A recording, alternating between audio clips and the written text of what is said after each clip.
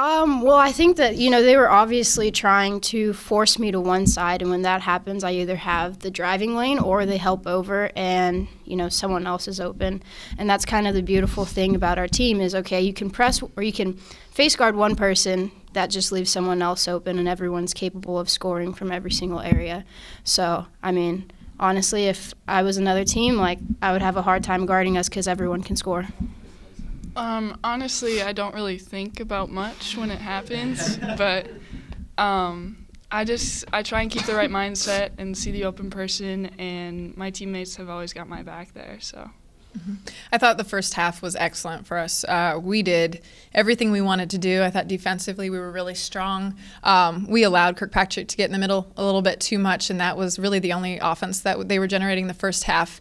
Um, we are harping about the energy in the third, and um, you know, with any team, it's really hard to replicate two full halves. And I think you saw, you knew they were going to come out firing, and I wish we would have been a little bit more attentive to start, but that's a learning thing for us. Um, but I think I've learned I've had to be a little bit more calm with some of the turnovers our team has because we do quickly respond when we give something up. So um, hopefully we can eliminate some of those things. But I thought um, Amber, Amber's mindset, and I thought Claire's mindset really stood out for me. They were super aggressive, and I think our team followed, and we needed them to do that because Northern Iowa was so good at taking away, um, you know, shooters like Ellie, and then the, obviously their game plan was to shut down Jess, and so you needed other people to step up, like Amber mentioned. Yeah. Uh, I definitely think you know we're on a high, but we also have to stay level-headed. That um, you know on any given night anyone can beat us.